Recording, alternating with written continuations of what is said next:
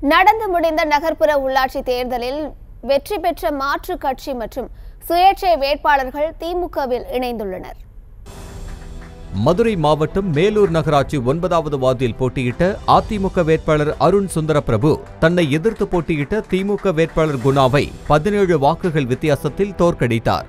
வெற்றிக்கு பின்பு பத்திரப்பதிவுத்துறை அமைச்சர் மூர்த்தி முன்னிலையில் திமுகவில் இணைந்து கொண்ட அவர் தம்மை நம்பி வாக்களித்த மக்களுக்கு நல்லது செய்யவே திமுகவில் இணைந்ததாக தெரிவித்துள்ளார்.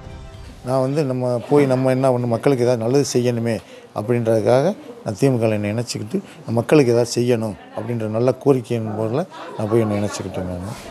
திருவள்ளூர் மாவட்டம் ஆவடி மாநகராட்சிக்குட்பட்ட பதினான்காவது வார்டில் அதிமுக சார்பில் போட்டியிட்ட வேட்பாளர் ராஜேஷ் வெற்றி பெற்ற கையோடு பால்வளத்துறை அமைச்சர் நாசர் முன்னிலையில் திமுகவில் இணைந்தார். இதனையடுத்து தமது காரில் பொருத்தப்பட்டிருந்த அதிமுக கொடியை அகற்றிவிட்டு திமுக கொடி பொருத்தியுள்ளார். இந்த காட்சிகள் தற்போது சமூக வலைதளங்களில் வேகமாக பரவி வருகிறது.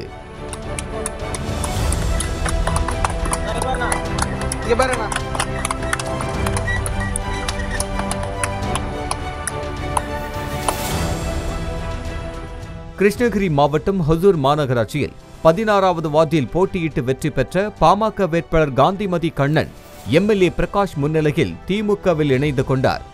மொத்தமுள்ள நாற்பத்தைந்து வார்டுகளில் திமுக கூட்டணி இருபத்தி இரண்டு இடங்களில் வெற்றி பெற்றுள்ளது.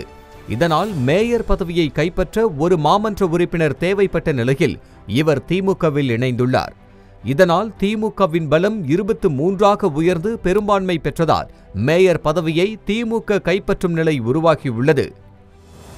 மதுரை மாவட்டம் சோழவந்தான் பேரூராட்சியில் ஒன்பதாவது வார்டில் போட்டியிட்டு வெற்றி பெற்ற அமமுக வேட்பாளர் சத்யபிரகாஷ் வெற்றி பெற்ற கையோடு வணிக வரித்துறை அமைச்சர் மூர்த்தி முன்னிலையில் திமுகவில் இணைந்தார். பதினெட்டு வார்டுகள் கொண்ட சோழவந்தான் பேரூராட்சியில் திமுக எட்டு வார்டுகளிலும் அதிமுக ஆறு வார்டுகளிலும் அமமுக ஒரு வார்டிலும் சுயேட்சிகள் மூன்று வார்டுகளிலும் வெற்றி பெற்றுள்ளனர்.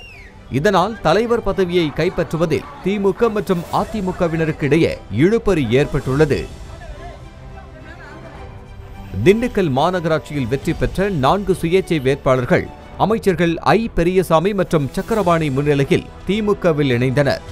முப்பத்தெட்டாவது வார்டு வேட்பாளர் வசந்தி நாற்பத்தோராவது வார்டு வேட்பாளர் விமலா ஆரோக்கியமேரி நாற்பத்தி நான்காவது வார்டு வேட்பாளர் மார்த்தாண்டன் மற்றும் நாற்பத்தாறாவது வார்டு வேட்பாளர் குலோத்துங்கன் ஆகியோர் தங்களை திமுகவில் இணைத்துக் கொண்டனர்.